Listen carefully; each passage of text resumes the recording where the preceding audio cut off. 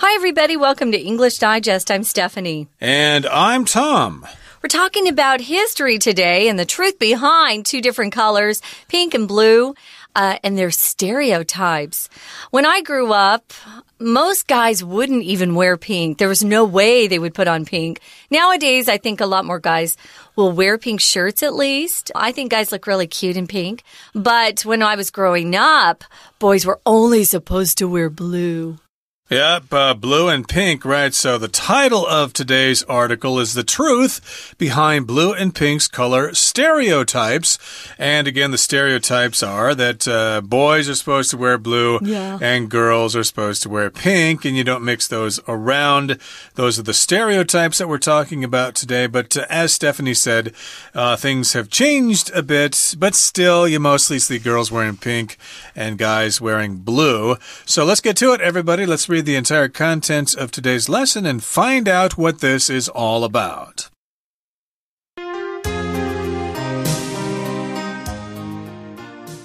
Look around in any children's clothing store, and you're sure to see shiny pink princess dresses and blue superhero t shirts. This sight emphasizes the idea that pink is for girls and blue is for boys. Centuries ago, however, pink and blue had no stronger association with gender than any other color. Considering this, you can't help but wonder when this view changed and why. Using blue and pink as signifiers of gender began in the 1890s. At that time, American companies began advertising the colors in that way to sell more clothes. However, ideas about which color was masculine and which was feminine weren't consistent for decades. In the 1920s, fashion brand Marshall Fields called pink a boy's color, while Macy's branded it for girls. One event that clarified the idea that pink was a girly color and blue was for boys occurred in 1922. This was the well known sale of the classic painting The Blue Boy to millionaire Henry Huntington. This artwork depicts a young boy handsomely dressed in blue. In his famous art collection, Huntington hung this piece next to a painting of a girl dressed in pink called Pinky. Later, these artworks commonly appeared in the popular American TV show Leave It to Beaver, helping make the color stereotypes popular. Recently, researchers have found that more and more men are wearing pink. One reason for this is that the younger generation simply doesn't have some of the prejudices about certain colors that perhaps the fathers and grandfathers do, reports academic Jo Paoletti. This modern attitude reflects the belief that a color is just that, a hue rather than a gender statement.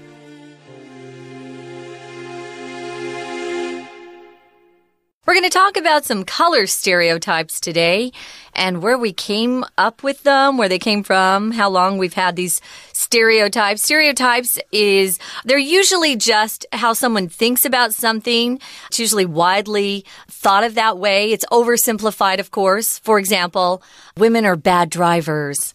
That is a stereotype.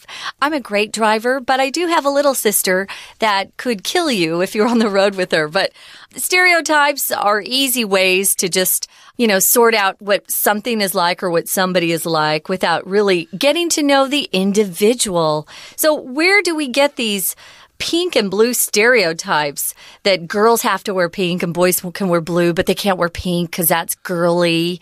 I love blue too. I like both colors. We're going to look around in any children's clothing store. And if you do that, you're sure to see shiny pink princess dresses and blue superhero t shirts. Um, I think what's interesting about the stereotype, though, Tom, is that Yeah. girls wear blue too. But the guys, you're kind of just, you know, stuck with blue only if you Well, believe in this I was stereotype. going to say more, we're kind of stuck with black or white or gray.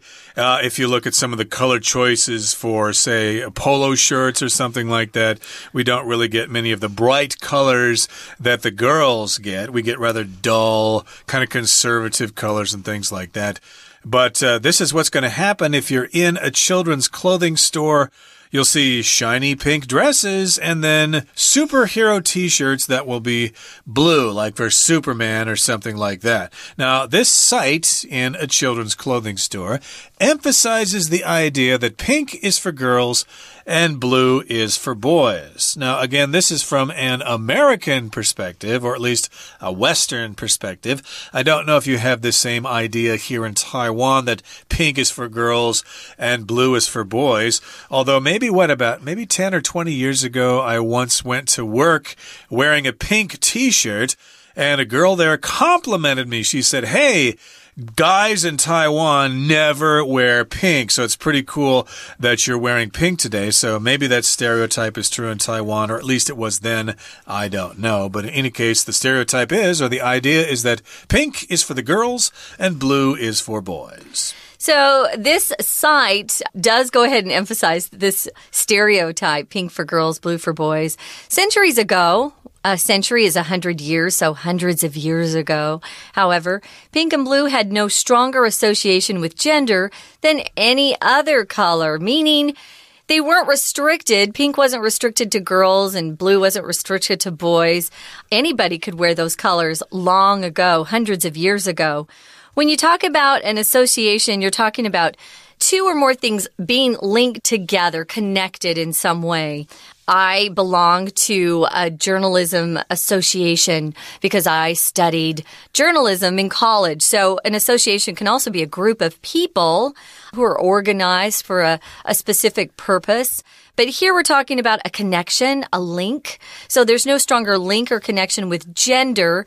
Gender meaning uh, the sex of a guy or girl. So gender would be male, female. There's no stronger link with uh, gender than any other color. This was a long ago. But nowadays, there really is more of an emphasis that uh, pink should be on girls and blue should be on boys. Well, blue for girls too. I have a lot of blue clothes. Uh, yeah, like I said before, girls get to wear any color they want to, basically. Pretty much, yeah. Uh, guys have to wear more moderate colors, but in any case, here, considering this, you can't help but wonder when this view changed and why. So, when you consider the fact that uh, pink and blue did not have any gender associations centuries ago, mm. then you can't help think, hey, why did this change? Why do we associate pink with women and blue with men? Yeah, that's a good question. Well, here in the next paragraph, it says, Using blue and pink as signifiers of gender mm. began way back in the 1890s. So here we've got the word signifier. Uh, that's from the verb to signify, which means to indicate or to show or to let us know that something is the case. So, yes, pink meant the, the female gender. When did it signify that? or when did it stand for that?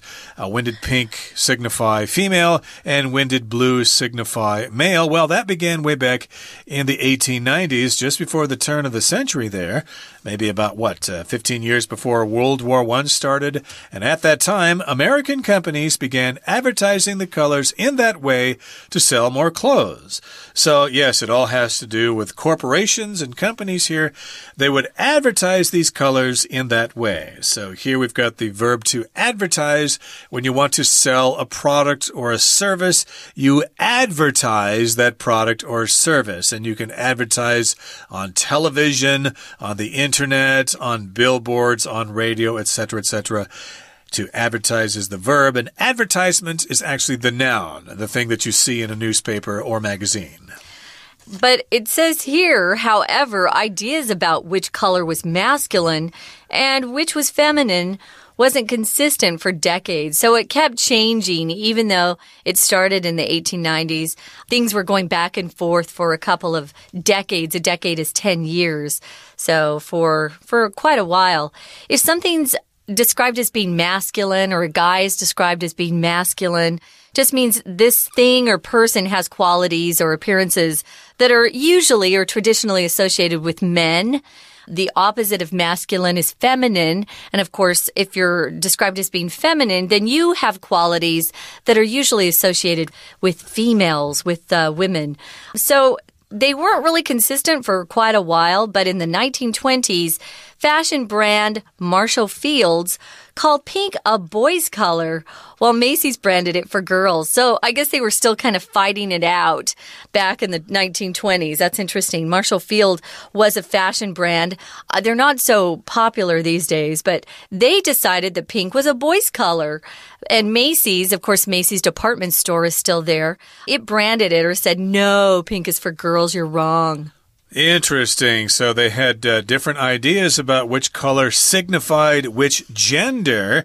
Uh, pink was for boys, at least according to Marshall Field, and blue was for girls, according to Macy's. Now, in the next paragraph here, it says one event that clarified the idea that pink was a girly color and blue was for boys occurred in the year 1922. And this was the well known sale of the classic painting the Blue Boy to millionaire Henry Huntington.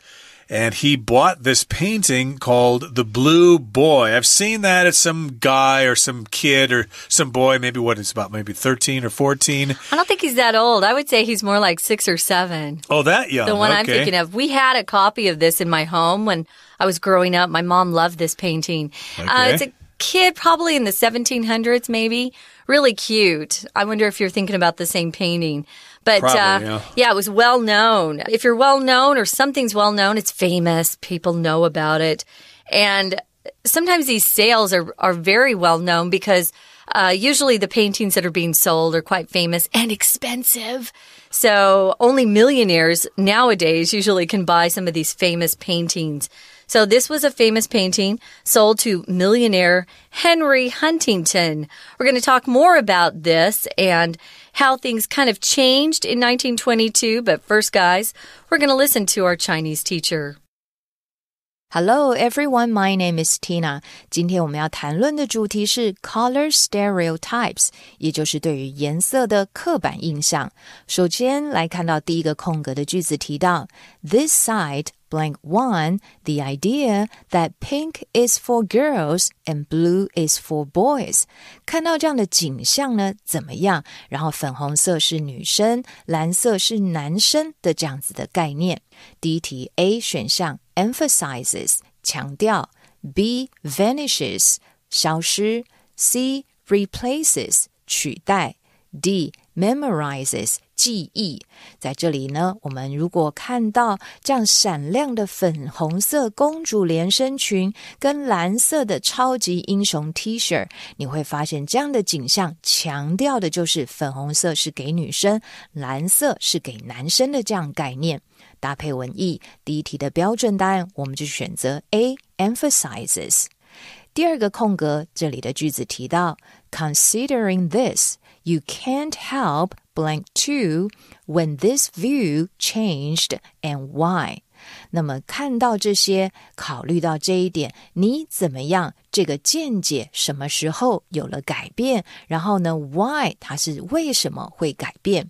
我们要考考同学这个文法的观念。Can't help 后面呢可以加上 v i n g，或者是 can't help but。 加上原形动词，可以解释成为不经怎么样，不得不怎么样。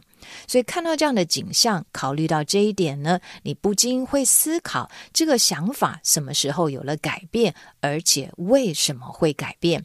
搭配句法，在这里我们可以选择 D 选项，but 后面加上原形动词 wonder，而在这里的 wonder 则是解释成为想知道的意思。接着第三个空格这一句写着，However, ideas about which color was masculine and which was feminine weren't blanks three for decades。其实呢，早在这个一八九零年代，数十年以来，关于哪一种颜色适合男性，哪一种女颜色适合女性的这样的想法。并不是怎么样的。你前面跟后面的文意会知道呢。有些人认为粉红色适合男生，有些人认为粉红色适合女生。搭配这样的文意，我们来看一下第三题 A 选项：ambitious 有野心的；B imaginative 丰富想象力的；C consistent 一致性的；D abstract 抽象的。有些人认为粉红色适合男生，有些人则认为粉红色适合女生，所以其实大家的想法是不太一致的。第三题搭配文意，我们就选择 C consistent。第四个空格，In the 1920s, fashion brand Marshall Fields called pink a boy's color. Blank four, Macy's branded it for girls. 在一九二零年代呢，这个时尚品牌 Marshall Fields 百货公司，它就把粉红色视为是男生的颜色。相对照于此，我们在这里前后两个完整句子需要一个连接词，比照两者之间的差异。相较于此呢，Macy's 则是把粉红色把它认为是女生的颜色，所以在这里搭配文意跟文法。第四题的标准答案。可以选择 be while 解释成为然而，用来比较两者之间的差异。其他的选项 A once 一旦，C until 直到，D because 因为都不是正确选项。We're going to take a quick break. Stay tuned. We'll be right back.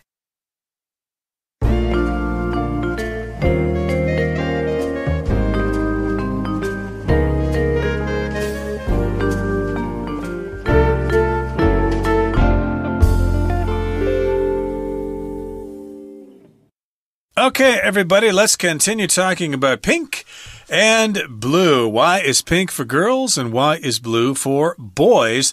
And where we were just talking, or where we just left off, was when we were talking about the well known painting, The Blue Boy. It was sold to a millionaire by the name of Henry Huntington. He had money to burn, he had more money than he knew what to do with, so he thought, hey, I'm going to buy this painting, The Blue Boy. Okay, so when you buy a painting, of course, you want to show it off, right? Totally. So, of course, you put it on the wall here.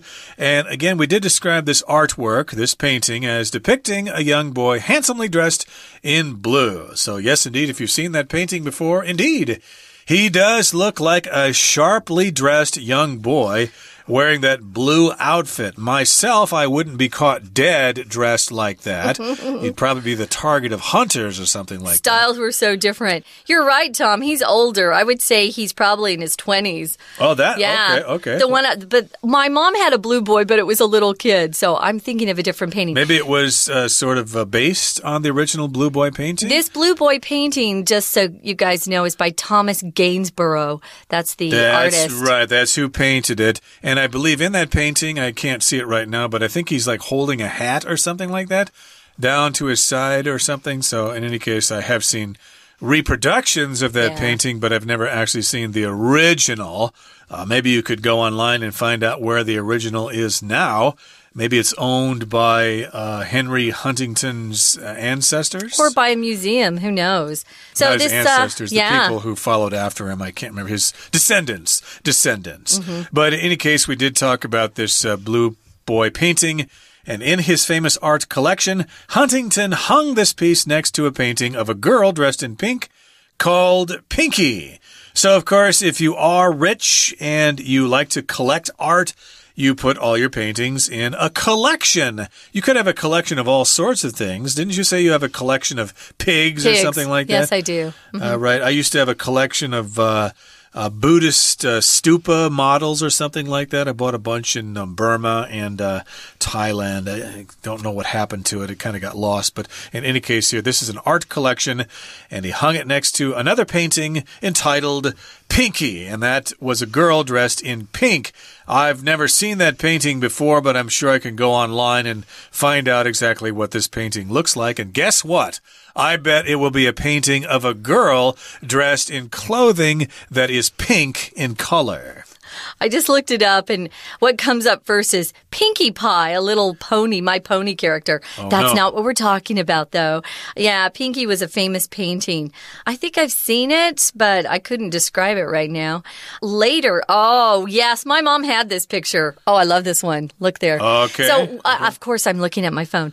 Uh, later, these artworks, these paintings, commonly appeared in the popular American TV show. Leave It to Beaver, which was about a typical American family in the 1950s, I think, 50s, 60s. Uh, it was before my time. And that helped make those color stereotypes popular because when this TV show was on and they were filming in the home, you'd often see those two paintings and that became familiar in people's minds. Oh, the girls in pink, the boys in blue. Okay. Which should be kind of interesting because Leave It to Beaver was in black and white. Yeah, I know. so I'm kind of trying to imagine how, how does could that they, work? How could they depict blue and pink in a black and white TV show? Yeah. Leave It to Beaver. Maybe you've seen reruns of it here with uh, Beaver and his uh, brother. What was his brother named Wally? and Ward Cleaver and the mother, etc., etc. It seemed the, nice, yeah. It was a nice, uh, wholesome American family. Well, recently, researchers have found that more and more men are wearing pink. That's what researchers have found out, and I've noticed that even here in Taiwan, if you're riding the bus or riding on the MRT, especially during the summer months, you will often see men wearing pink, and they're not ashamed to wear pink at all. In the past, if you were a man and you wearing pink, you were probably going to be suspected of being homosexual or something like that, or maybe being slightly effeminate or something like that. It was probably something you artistic, you know. uh, yes, could be artsy or whatever. Mm -hmm. uh, and uh, for myself, when I wear pink, I like to wear dark pink, a darker shade of pink, maybe something closer to magenta or something like that, or fuchsia. Uh, those are kind of darker shades of pink. But in any case, here it's becoming more and more acceptable for men fuchsia, to wear pink. Yeah. Actually, the uh, yeah, the case for my e-reader here is pink. That's not because I like pink, but because that's the only color they sold at Daiso. Oh, really? and well, they had pink or black, and I decided to get pink because it's easier to see Mm. if I'm looking for it in the morning and I need to get out the door. Pink is an easy color to see, but Again, as it says here, researchers have done some research and they found that more and more men are wearing pink, and I suppose likewise, more and more women are wearing blue. But as you said, women have been pretty much wearing any color they've wanted to for many, many decades. That's because we care about fashion.